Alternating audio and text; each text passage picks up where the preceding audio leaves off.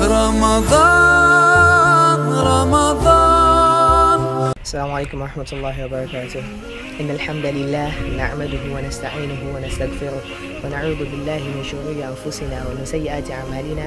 من يهده الله فلا مضل له ومن يضلل فلا هادي له وأشهد أن لا إله إلا الله وأشهد أن محمدا عبده ورسوله وأشهد أن أصدق الحديث كتاب الله وخير الهدي هدي محمد صلى الله عليه وسلم وشر الأمور محدثاتها وكل محدثة بدعة وكل بدعة ضلالة وكل ضلالة في, النار.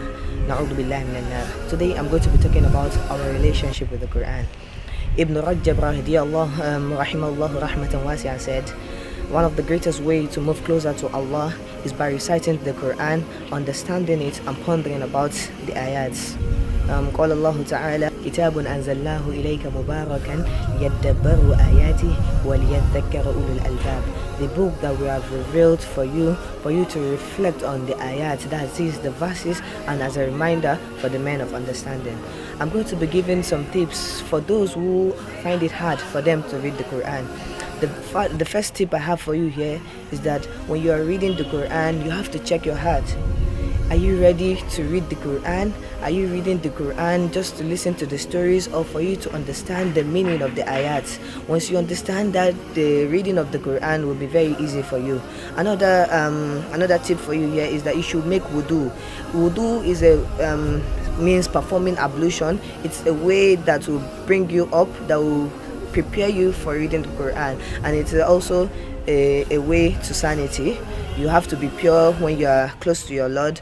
Another another tip I have here for you is that when you are reading the Quran, you should understand what you are reading. The meaning of the Quran in and whatever language that you want it, be it Yoruba or whatever language, should be with you. So you should understand the meaning of what you have read. Not just reading the Quran alone is enough, but understanding the meaning and lastly you should have you have to supplicate to allah for it to make it easy for you to recite the quran daily weekly and even in the year all around so I pray that Allah makes it easy for us to read the Quran and to understand the Quran.